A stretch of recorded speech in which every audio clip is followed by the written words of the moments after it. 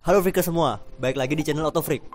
Kali ini kita berkunjung ke sebuah event otomotif terbesar di Indonesia, yaitu adalah Gaikindo Indonesia International Auto Show atau GIAS 2018.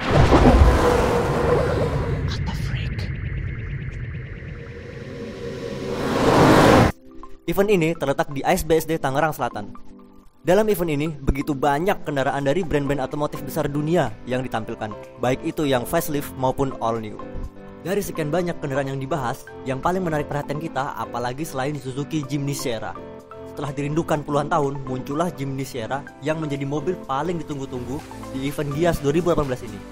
Terdapat dua mobil Jimny yang ditampilkan di Gias 2018 dan amat sangat ramai dikerumuni pengunjung. Yang pertama berwarna hijau army, yang kedua berwarna kuning kehijauan atau Tosca kali ya.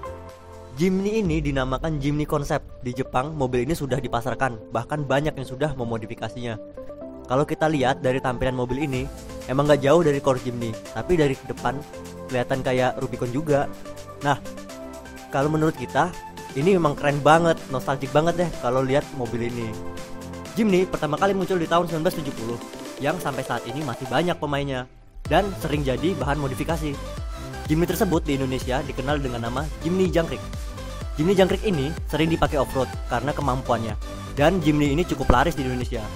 Pada tahun 1981, Jimny mengeluarkan generasi keduanya yaitu Jimny SJ410 yang merupakan Jimny paling laris di Indonesia karena kemudahan perawatannya dan harga yang relatif terjangkau. Jimny ini bermesin 1000 cc 4 silinder karena pajak 4x4 di Indonesia kurang bersahabat alias lebih tinggi, maka keluarlah Jimny 4x2 yaitu Katana yang sangat laris. Sampai saat ini Katana masih sering seliweran di jalan. Mungkin yang paling sering seliweran menurut kita. Lanjut ke Jimny baru ini atau Jimny Sierra. Seperti yang kita bilang, dari tampang depan, mobil ini terlihat begitu tampan dengan perpaduan gaya Jeep Amerika.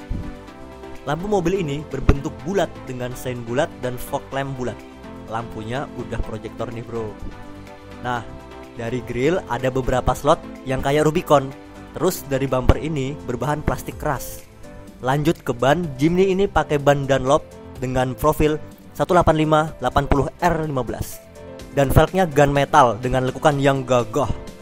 Rem depannya udah cakram sedangkan rem belakangnya masih tromol. Di atas ban terdapat over fender yang keren banget. Jadi terlihat mewah dan gagah. Ada sein di atas fender juga. Spionnya terlihat klasik tapi udah elektronik. Pada bagian atas terdapat antena yang belum Sharkwin. Kalau Sharkwin malah kurang cocok sih, kurang klasik. Antenanya juga di pinggir, posisinya kayak remote control. Sekarang kita lihat tampang belakangnya.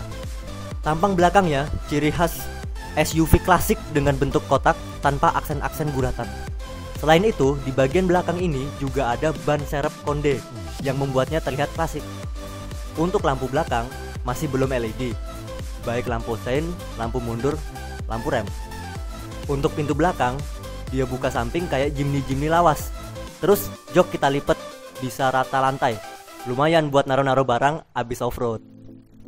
Mobil ini memiliki ground clearance 205 mm, wheelbase 2250 mm. Untuk door trim pakai plastik, ada door paket di bawah dan gak ada power window-nya. Power window-nya ada di tengah. Untuk fitur dari interior mobil Jimny ini standar-standar aja, nggak ada teknologi yang luar biasa. Setirnya mirip sama Suzuki Swift dan di setir udah ada tombol-tombolnya kayak Bluetooth, terus telepon, audio sama cruise control. Speedometernya Jimny banget dengan dua panel bulat yang dilapisi frame kotak. Gak gabet dah pokoknya. Heat unitnya juga standar walaupun AC udah digital. Overall menurut kita interiornya standar banget sih. Di sini ada tuas 4WD, ada yang high sama low. Di bagian penumpang depan ada pegangan yang dipakai buat off-road. Di bawahnya ada bagasi, tapi kecil, nggak muat numpang banyak. Lanjut ke mesin, mobil ini pakai mesin Suzuki R3 yaitu K15B 1500cc 4 silinder. Karena ini mobil buat off-road dengan ground clearance yang tinggi, jadi lebih tinggi deh posisi mesinnya. Mungkin juga biar tangguh menahan banjir. Ya, segitu aja review kita soal Jimny Sierra ini. Untuk harga masih abu-abu, jelas abu-abu sih di launching di Indo juga masih abu-abu jangan lupa like komen dan subscribe channel YouTube kita ciao